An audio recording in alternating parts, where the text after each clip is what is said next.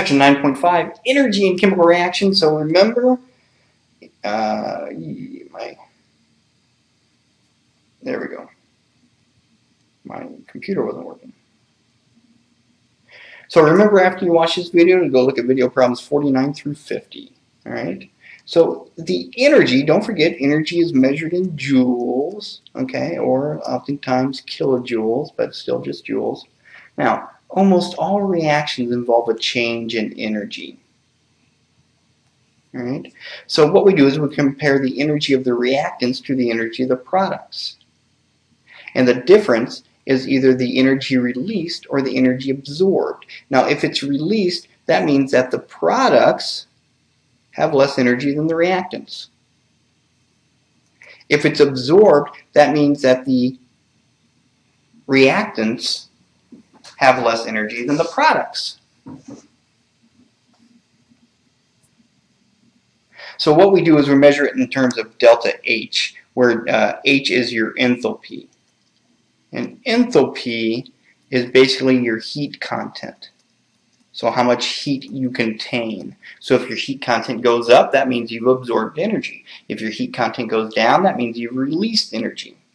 Okay. There are two types of reactions. There are exothermic reactions. In an exothermic reaction, uh, heat is released. It will feel hot. The delta H of the reaction, so in other words, the enthalpy of the reaction is equal to negative if it's exothermic. And then in your textbook, heat is written as a product. So here's an energy diagram. Very important to be able to read an energy diagram. Here's an energy diagram.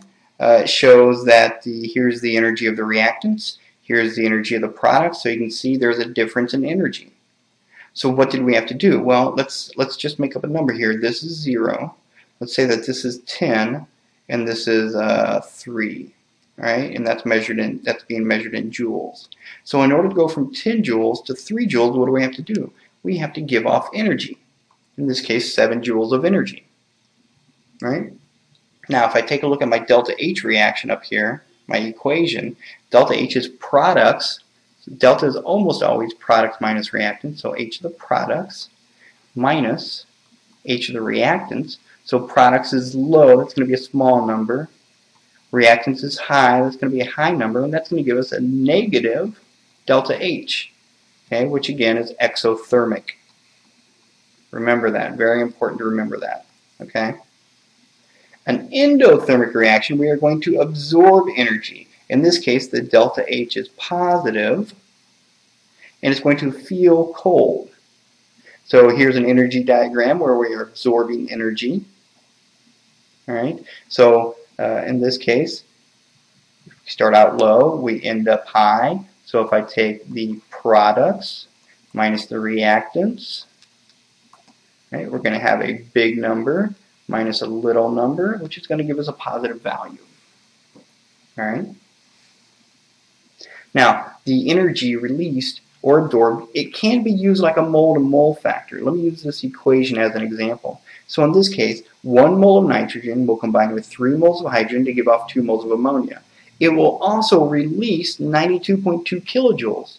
So we can write three conversion factors here. It'll release 92.2 kilojoules for every 1 mole of nitrogen that we use, or it'll release 92.2 kilojoules for every 3 moles of hydrogen that we release, or it'll give off 92.2 kilojoules for every 2 moles of ammonium. This is where it's very important to let the units work for you and not to try to memorize how to do things. Okay, so the conversion factors, of course, we can flip those conversion factors up. If I'm looking for energy, I'm probably going to want energy on top. If I'm looking for the amount of product or reactant formed or used, then I'm going to flip it over.